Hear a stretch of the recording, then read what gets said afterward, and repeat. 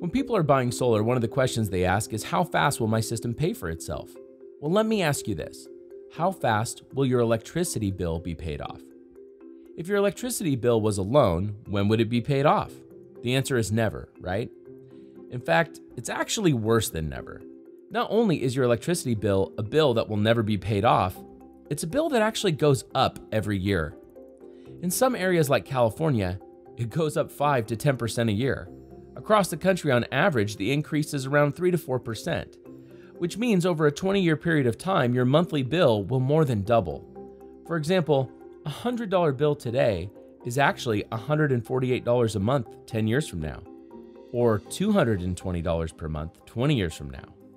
You'll be paying $2,600 a year for electricity compared to the $1,200 a year you're paying today. Imagine if your credit card bills worked like that, or your mortgage work like that.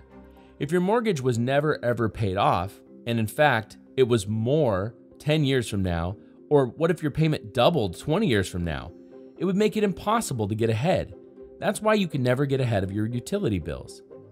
Let me say it this way if you're replacing a bill that can never get paid off with a smaller bill that will be paid off, is that a good return?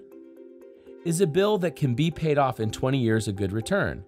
Is a bill that can be paid off 10 or 15 years from now a good return? How about six years or less? Would that be a good return? You see, this opens up a whole different kind of conversation. Really, the conversation is is it worth it?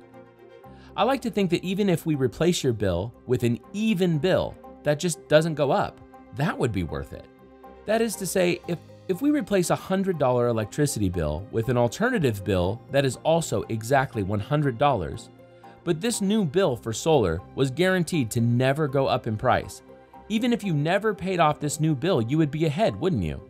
Because while your electricity bill continues to rise by 4% every year, your solar payment would stay the same. That's how solar works. Not only does the price of solar ownership never go up, in fact, the bill will eventually be paid off and we're replacing dirty power with clean power.